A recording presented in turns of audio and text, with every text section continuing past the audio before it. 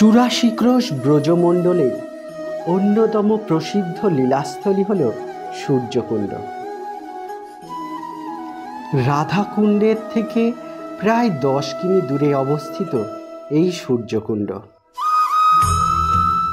এই সূর্যকুণ্ডের তীরেই কিশোরীজি, অর্থাৎ রাধা ঠাকুরানী অন্যান্য ব্রজ মাইয়াদের সাথে সূর্য পূজা করেছিলেন এবং শ্যামসুন্দর সেই পূজার পূজারী হিসাবে পুরোহিত বেশ ধারণ করে এক অদ্ভুত সুন্দর লীলার অবতারণা করেছিলেন। এই মন্দিরে স্বয়ং ভগবান সূর্য নারায়ণ হিসেবে অবস্থান করে পূজা পাচ্ছেন।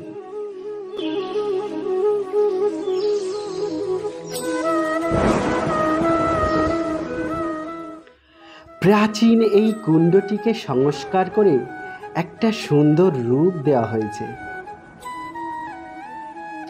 এই স্থানের অদ্ভুত সুন্দর প্রাকৃতিক পরিবেশ আমাদের হৃদয়কে ভরিয়ে তোলে।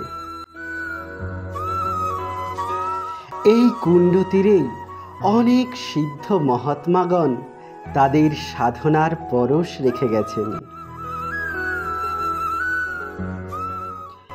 এই কুণ্ডের জলেই সিদ্ধ মনোহর দাস বাবা, রাধা ঠাকুরানীর অলঙ্কারের চিহ্নযুক্ত এই পাথরটি খুঁজে পেয়েছিলেন। প্রস্তরটিতে রাধা ঠাকুরানীর মুকুটের চিহ্ন বিদ্যমান। সিদ্ধ বাবার সমাধিপীঠের উপরে তা এখনও খুব সুন্দর করে সংরক্ষণ করে রাখা হয়েছে।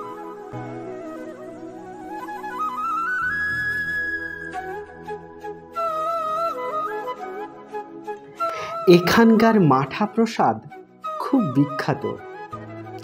এবং এখনকার পূজারীও খুব সুন্দর করে আগত সকল ভক্তবৃন্দকে মাঠা প্রসাদ পাওয়ান।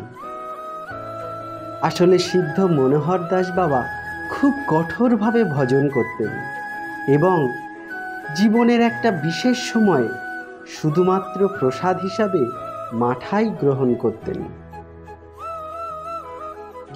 এই সিদ্ধ বাবার উপরে কিশোরীজির অশেষ কৃপা ছিল।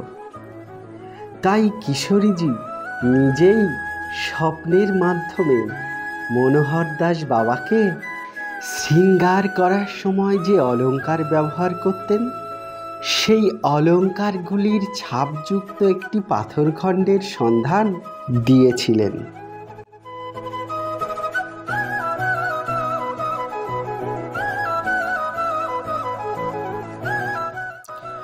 আর একজন সিদ্ধ মহাত্মা শ্রী জগন্নাথ দাস বাবাজির ভজন কুঠির এটি।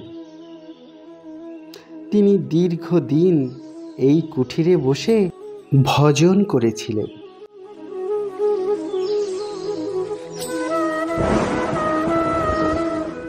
এই অপ্রাকৃত চিন্ময় রাজ্যে এসে কতটা কি গ্রহণ করতে পারলাম তা বলতে পারব না। তবে কিছুক্ষণের জন্য হলেও মনটা আনন্দে ভরে গেল। জয় নিতাই।